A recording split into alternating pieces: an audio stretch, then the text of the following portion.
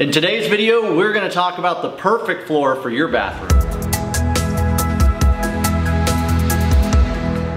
All right guys, so I gotta start off with the fact that there is no such thing as a perfect floor. Oh, I know you're, that's probably breaking your heart, but truthfully there isn't because there is a lot of advantages and disadvantages to every product out there. And so I wanna cover some of those for you guys today so that you can make the best decision on what's gonna work best for your home. And again, in this case, your bathroom. So there's a lot of different great products that work in bathrooms. You're gonna find vinyl, so sheet vinyl products, very cost-effective product. It's gonna be a big sheet that we roll roll out on the floor. Looks like tile, looks like wood. There's a lot of great different looks out there. And really about the only thing that we want to touch on on the disadvantage side is usually it's not going to have a very heavy wear surface, so it's not going to have a long-term lasting product. But in a bathroom, because the traffic is low, it usually lasts pretty darn well. And then because it is a sheet product, if you happen to rip, tear, or gouge it, you have to replace the whole piece. Where our other products that we're going to talk about, like tile or LVP, those products actually, again, are going to be able to go in and change just an individual piece. So like if tile, if you happen to damage it, you could go in and change it. But let's also touch on that. Tile is so incredibly hard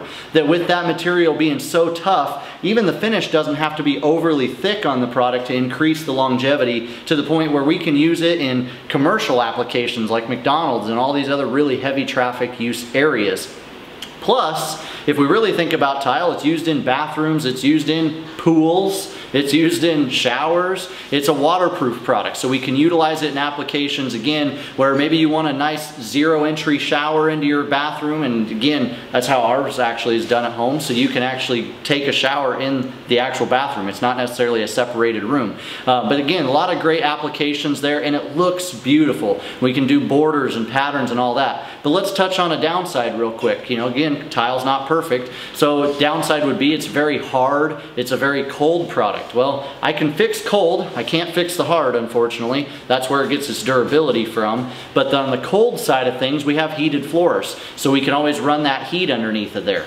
But, you know, maybe on another downside, it's, you know, it's kind of expensive. So, you know, maybe you want something that's more, it's naturally warmer. So LVP, luxury vinyl plank, and luxury vinyl tiles can give you that look of tile, the rich feel, but at a warmer feel. You know, again, it's a plastic material, so it's not gonna absorb and hold the cold like what tile does, so it's a naturally warmer product. And so those are some of the best flooring options out there for bathrooms. Again, in like my case, we have the tile in there because we have the full zero entry walk-in shower system and tile works really well for that particular application. But maybe you have an onyx shower or a fiberglass shower and vinyl or the again vinyl tile would be best for you. So again, give us a call today guys and we can help you figure out what would be best for your bathroom. And if you like that video, check out these videos for more information. Subscribe below and don't forget to click that bell.